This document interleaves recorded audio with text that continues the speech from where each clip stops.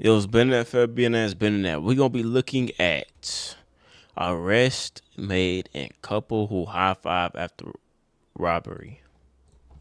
It's startling video of two suspects accused of robbing an elderly person and then high fiving each other. What? They robbed they robbed an old person and they high fiving. What?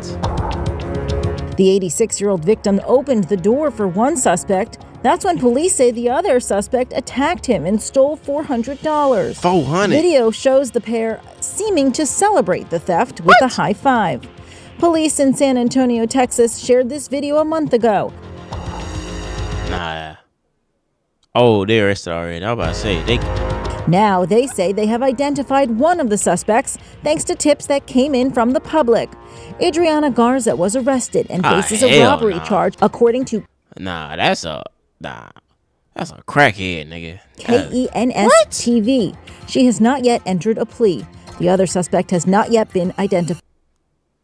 What? Hold on.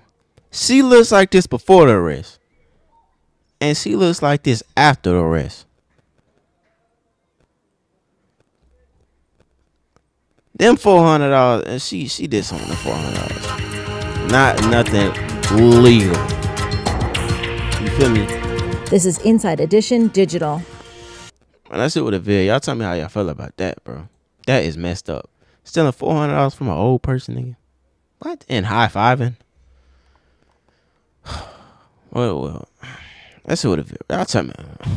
I'm just a chill ass nigga, bro. I ain't really got no friends. The niggas I fuck with, I don't call them my friends. I call them my bros, and I only got like three of them. I ain't really got no bros, my nigga. I don't fuck with nobody. Like a lot of people, they always be like, nigga, you switched up. You did this, you did that. Now that y'all niggas see me doing something, y'all see me finally doing something. Now all of a sudden, y'all niggas want to feel some type of